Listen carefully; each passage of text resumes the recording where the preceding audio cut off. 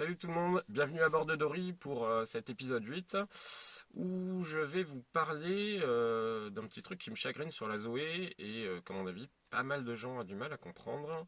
C'est les indicateurs de consommation au niveau du tableau de bord. Donc je vais vous montrer mon tableau de bord et vous expliquer un petit peu Donc voilà. ce qui Donc euh, c'est sur la consommation.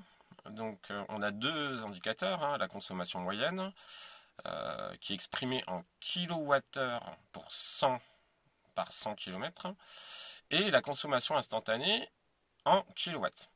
Alors déjà la différence entre kilowatt et kilowattheure. Euh, alors je suis pas un expert, mais les kilowatts pour moi c'est une puissance exprimée, les kilowattheures c'est une consommation. Donc déjà exprimer euh, une puissance lorsqu'on roule, je vois pas trop l'intérêt. C'est comme si sur une voiture thermique, on me disait euh, là je consomme 30 chevaux, 40 chevaux, 50 chevaux, ça va pas me dire grand chose. Alors je vous explique pourquoi. Imaginons que je roule à 100 km/h euh, et que euh, ma consommation là en haut indique 15 kW, donc la puissance de 15 kW.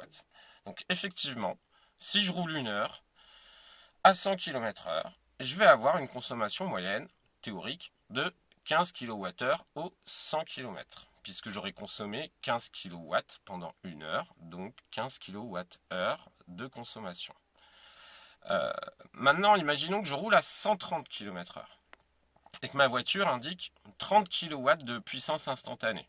Hein, je suis sur du plat, la, voilà, conso est, stable et tout.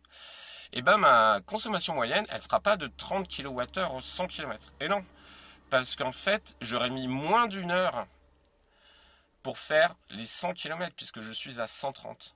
Donc du coup, ma consommation moyenne sera inférieure euh, à 30 kW. Donc je vois pas trop l'intérêt euh, d'indiquer des, des, kilowatts en fait, euh, enfin pour ce qu'ils appellent consommation instantanée, qui n'est pas une consommation, qui est une puissance instantanée. Euh, voilà, c'est un peu bizarre euh, comme, comme manière de faire. Je vois pas trop pourquoi ils ont fait ça. Euh, ça aurait été plus intelligent de donner, moi je trouve, euh, des kilowattheures au 100 en consommation euh, instantanée.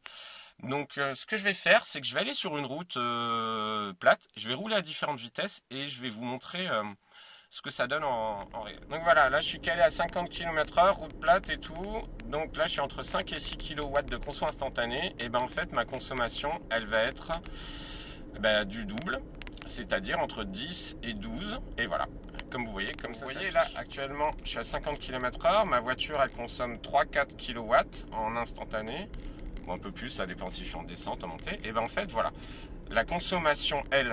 Euh, elle sera facilement du double. Pourquoi? Parce qu'il me faut deux heures en fait pour faire 100 km. Et donc c'est la même chose en fait quelle que soit la vitesse. Donc euh, je vous ferai un petit, euh, un petit tableau en fonction de la vitesse. Voilà, deuxième test, là je suis à 80 km/h, je consomme euh, 10, entre 10 et 12 kWh et vous voyez ma consommation est plus élevée, toujours parce qu'il me faudra plus d'une heure en fait pour faire 100 km.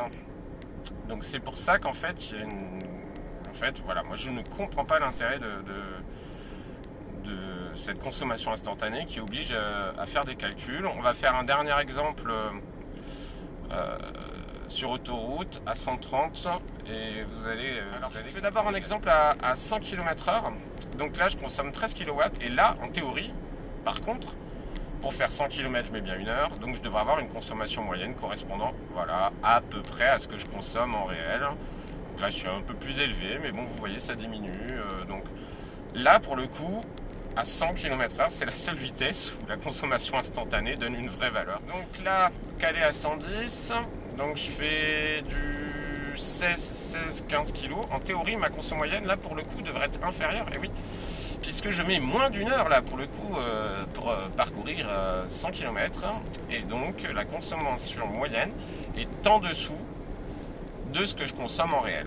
Donc on fera un dernier test à 130 et bah, je pense que la démonstration est claire. Voilà, donc dernière démonstration, je suis à 130 km/h. Vous voyez, je consomme 28 kW, 29 en instantané. Et vous voyez que ma consommation, elle, moyenne, est bien bien moins élevé, toujours même démonstration. Je vais mettre moins d'une heure pour faire mes 100 km et donc ma consommation moyenne est, est forcément inférieure à ma consommation instantanée. Voilà. Donc voilà, je suis de retour pour faire un petit bilan donc du coup sur ce test moi j'ai vraiment du mal à comprendre pourquoi ils ont mis la consommation, enfin la puissance euh, instantanée et pas une consommation. Euh, voilà, je vois vraiment pas l'intérêt. Moi, ce qui m'intéresse, c'est euh, quand je roule à 100, savoir combien je vais consommer et non pas quelle est la puissance délivrée par mon véhicule. Donc je sais pas ce qui est passé dans la tête des ingénieurs de Renault là sur ce coup. je vois même pas l'intérêt de cet indicateur en fait parce que ça n'a pas du tout m'aider le sur ma manière de rouler. Voilà. Allez, à bientôt.